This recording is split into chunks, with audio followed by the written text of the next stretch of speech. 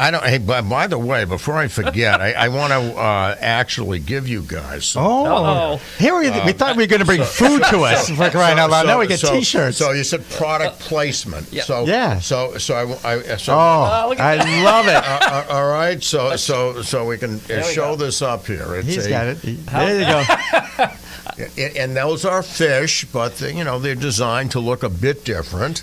Uh, just- and and yes, go. you can get them at uh, uh, legalseafoods.com I if have you'd a like. very Good nice job, Roger. for you. We had Good a, job. cus- a custom made, embroidered, uh, you know, a, a a very nice lobster bib that I could also pass over. But no, we're uh, huge fans of the restaurant. If you haven't you. obviously heard or tried Legal Seafood, it's the best seafood restaurant in the world.